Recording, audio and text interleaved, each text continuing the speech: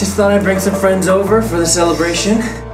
I want them out of here. I don't understand why you can't use your fucking imagination and think outside of the box just for fucking once. I'm a straight, married woman.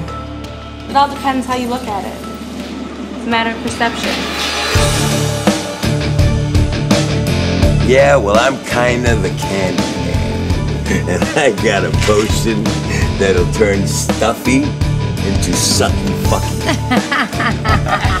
God, you're crazy. No, I'm not crazy.